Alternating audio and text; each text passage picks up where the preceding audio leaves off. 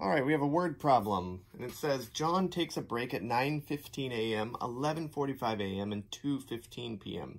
If this pattern continues, when will his next break be? So we know there's a pattern because it says if this pattern continues.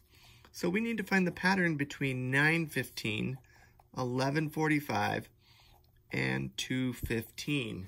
Now, when you work with time and math, it's very different than just regular numbers because our number regular number system is based on a base 10 system, which means when you get start at 1 and get to 10, you add a 0 and start back at 1, but change the tens place.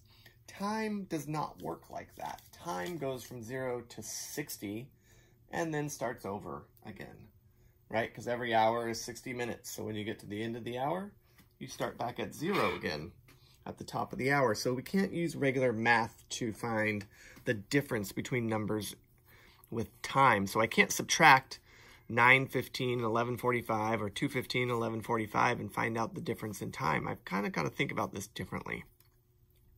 What I like to do is count up, and I count up by hours. So if I want to see the difference in time between 9.15 and 11.45, I'm going to add an hour one hour here would bring us to 10.15, which is not at 11.45 yet.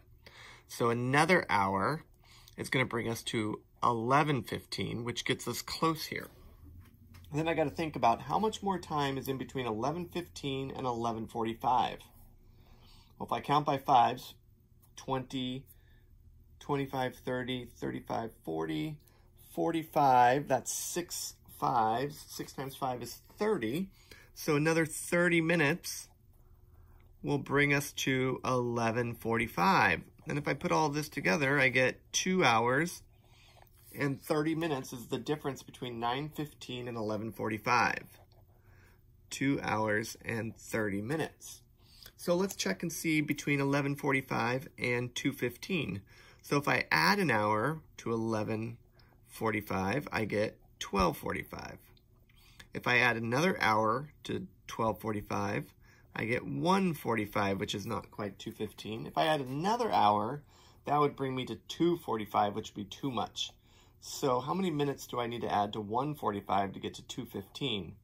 Well, if I count by fives, we start at 45, then we get to 50, 55, 60, 65. Oh, we can't do 65 because that's too much, right? So after 60, it starts at zero. So I'm gonna start again. 50, 40, 55, 60, and then 5, 10, 15. So six groups of five, which is another 30 minutes again. So 30 more minutes will bring me to 2.15. And if you notice again, we have 2 hours and 45 minutes, or 2 hours and 30 minutes between 11.45 and 2.15.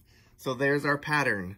He takes a break every 2 hours and 35 minutes. So from here to here, we're going to add 2 hours and 30 minutes, and that will be when his next break is. All right? So good luck with that. We'll see you on the next.